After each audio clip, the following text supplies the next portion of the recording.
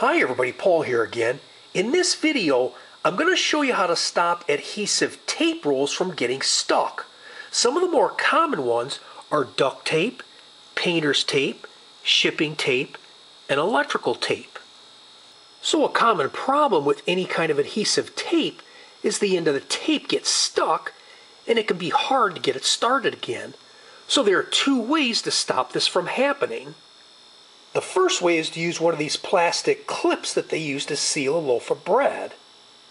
When you're done using the tape, just stick half of the clip on the end of the sticky side of the tape. If you do this, the end of the tape will never get stuck again. When you need to use the tape again, just remove the clip. The second way is when you're done using the tape, just take the end of the tape and fold some of the sticky side of the tape over onto itself. If you do this, the end of the tape will never get stuck again. When you need to use the tape again, just lift some of the tape up and trim the edge off with a pair of scissors.